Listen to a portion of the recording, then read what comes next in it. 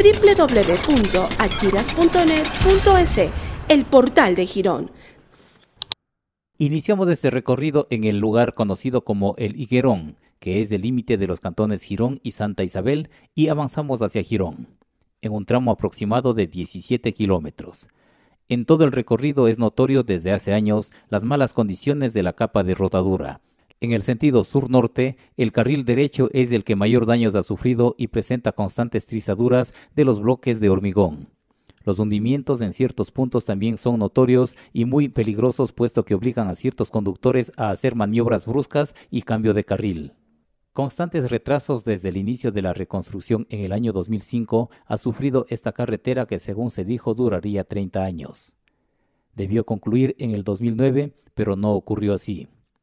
Por el prematuro deterioro en el año 2014, iniciaron trabajos de reconstrucción en los 140 kilómetros de carretera desde Cuenca hasta Pasaje por un monto de 31 millones de dólares, los mismos que debían concluir en diciembre de 2015. Sin embargo, no se cumplió.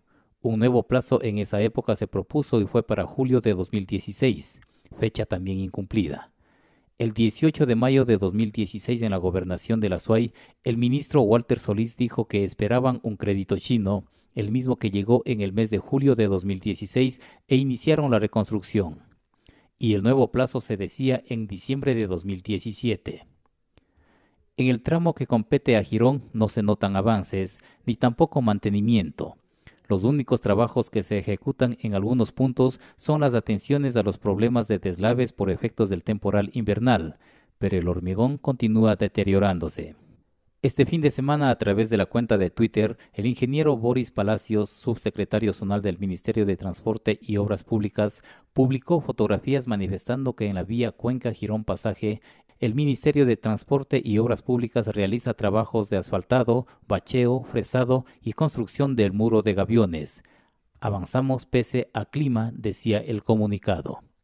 Consultado sobre los avances en el tramo que compete a Girón ante la ausencia de maquinaria y trabajadores de la empresa contratista, adujo que hemos ejecutado trabajos emergentes, limpieza de deslizamientos, bacheo, reposición, tubería.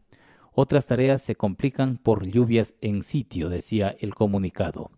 Además manifestaba que se cumple la colocación de asfalto con la empresa contratista en el kilómetro 73.9 de la vía Cuenca Girón Pasaje y solicitaba conducir con precaución.